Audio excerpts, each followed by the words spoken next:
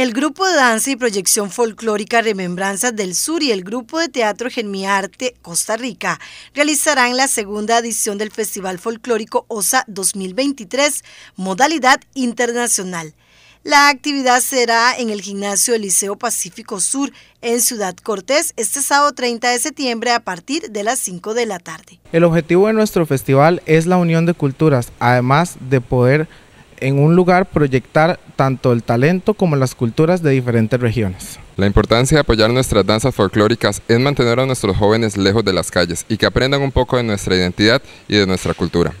También es importante recalcar que este espectáculo que se presentará este fin de semana acá en Osa también será presentado el día 6 de octubre en el Teatro de la Danza en San José a las 7 de la noche, por lo que esperamos también poder contar con su presencia ese día. Habrá representación de grupos de México, Nicaragua, Colombia y por supuesto Costa Rica.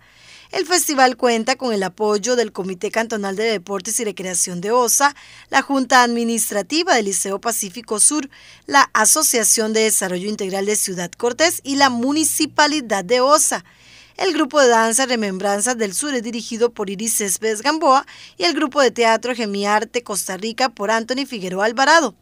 Para las personas interesadas en asistir, el costo de la entrada es de mil colones.